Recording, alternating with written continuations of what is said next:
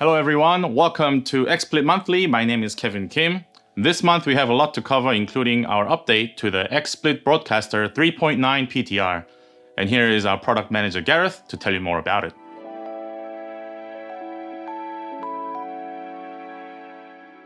Hi, my name's Gareth, product manager for XSplit, and in this XSplit update, we're going to be looking at the new 3.9 PTR. So for 3.9, the biggest updates that we have coming are the audio mixer, scene presets, and source grouping. So in terms of what those features are and what they entail, we have source grouping, which is pretty obvious from the name itself, I guess, but it allows you to actually collect uh, a group of sources, put them into one group and be able to move them and resize them. Uh, and it just makes it easier to categorize your scenes. I mean, you could even just use it as a cate category tool without actually really needing to, you know, do the whole resizing and moving together. Then we have the scene preset. So scene preset is a new concept that doesn't really exist anywhere else.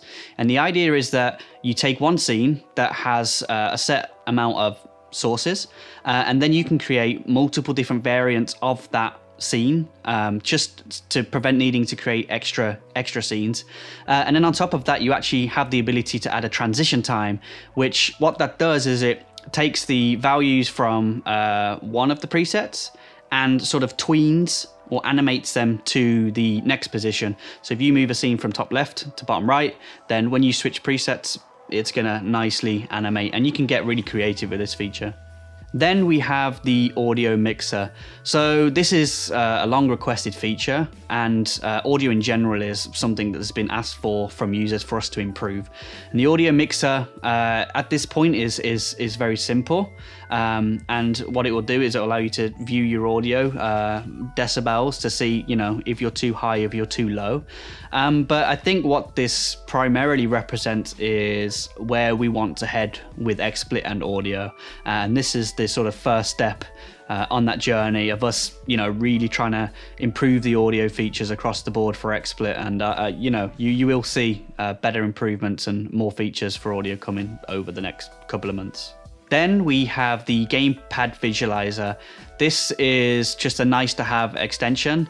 Uh, and what that means is you add it to your scene, you have a controller plugged in, viewers are going to be able to see, okay, which buttons are you pressing, where's your analog stick pointing to. Uh, so it, for those that like to play uh, or like to make tutorials for things like uh, for games, then you can use this to do that. If you'd like to see ideas that you have in XSplit Broadcaster or as a matter of fact, any of the other products across XSplit, you can head on over to xsplit.featureupvote.com.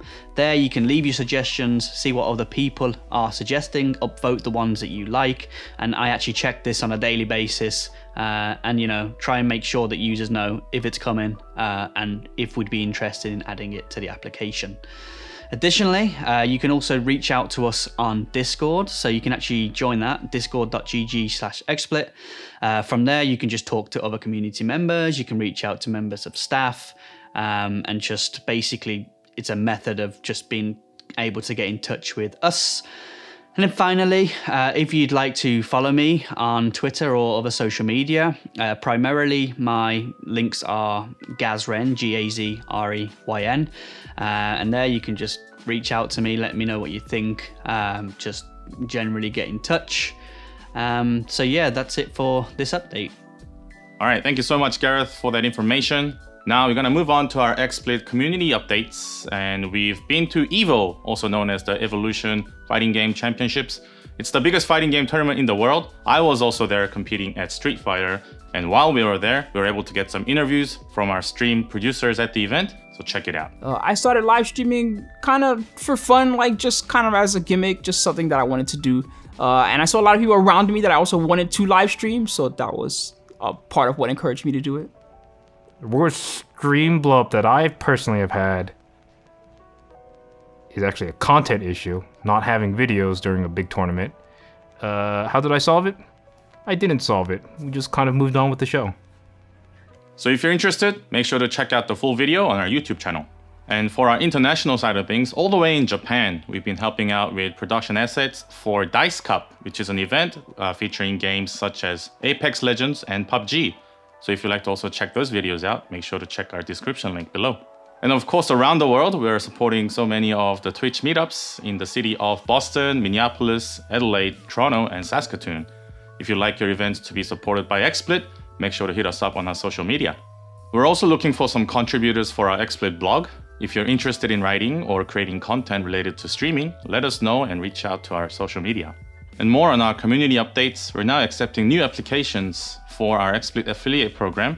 You can check out the link partner.xsplit.com and if you're new to XSplit or already a user of XSplit products, you can check it out and make sure to sign up today. Moving on to our XSplit Academy, we're going to be talking about the new scene presets. We'll talk about how to incorporate a new scene with a preset active or implement it in your existing scene in XSplit Broadcaster.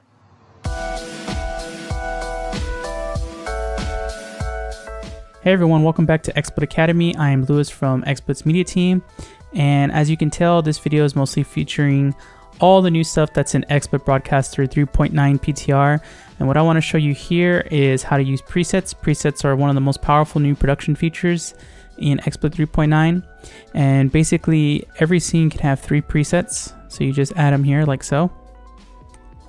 And then you want to make sure that the transition is on. So let's put that as 500. This will be so that it can animate between scenes. And if we go over here, we can take a look at some preset movements, right? So I have these presets set up. And basically what presets let you do is you can change things like cropping, position, size, shape, and even stuff like the colors. So all you do is basically you go to a preset and then you change something with it and then you go back to the next preset and then there's your animation. Pretty simple. And all you have to do is change the properties in here. So if I want to change, let's say more cropping on the right, you know, more stuff on the top, cut my head off. If I want to change my x-axis or y-axis, I can do that. Uh, you know, mess with the color here. Maybe I'll put myself way too too much saturation. And that's all it is to changing the preset. So it just animates those values. Pretty simple. Uh, you can also bind presets to hotkeys. So you can see here I've set some hotkeys already for presets. Pretty straightforward. So if we go to this scene over here and make sure to look at this, you can see when I press my hotkeys, my presets are animating between each other. Pretty straightforward. And you can also use presets and macros. So you can do some really wild stuff here. I've just set up a basic one. So when I trigger this hotkey, it's going to switch the scene and cycle through some presets. So let's go ahead and check that out. The hotkey, I'm going to go ahead and set, switch it to my scene here. Hit my hotkey. And you can see here my presets are animating by themselves. You can see by the input selector that I haven't actually pressed any keys to do this. It's all doing it through the macros, all automated. So pretty much your creative possibilities are endless here. You can do whatever you want with presets. You can have kind of crazy stuff go on and animate a bunch of stuff. Uh, it'd be really cool to see what you do. Make sure to leave us some notes in the comments how you might use presets or share with us on social media all the creative stuff you might use with presets. Anyway, thanks again for watching. Thanks again for joining XSplit Academy. I'll let Kevin take it from here. All right. Thank you so much once again for watching this episode of XSplit Monthly. If you have any questions or suggestions, please leave a comment down below. Hit the subscribe button for our updates. And if you're curious what we were up to last month, you can check out our last episode here.